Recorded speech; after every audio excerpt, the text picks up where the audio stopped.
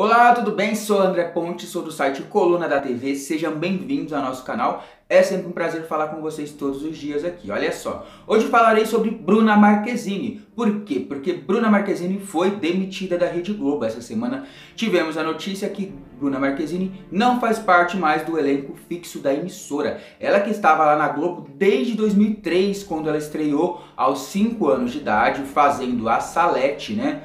Na novela Mulheres Apaixonadas. Quem não se lembra, aquela garotinha que perdia a mãe num tiroteio. Então, a Bruna Marquezine foi demitida. Ah, mas tem gente que fala, não foi demitida, não. A Globo que não renovou o contrato com ela. Ou seja, é a mesma coisa. Não renovou o contrato quer dizer que não vai trabalhar mais lá. Ou seja, foi demitida.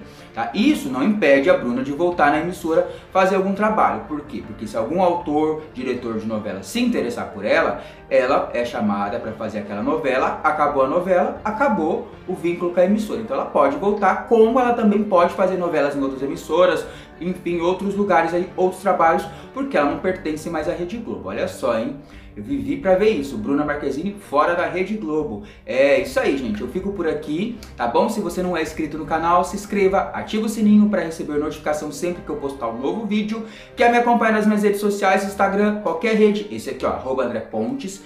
É, acesse o site colunadatv.com, curta a nossa página no Facebook, todos os links estão aqui na descrição do vídeo. Lembrando que duas semanas, todas as semanas tem dois presentes, dois presentes para vocês aqui no canal. Para saber o que é, como é, como participar, tem que ficar ligado no canal, tá bom? Um beijo para vocês e até o próximo vídeo.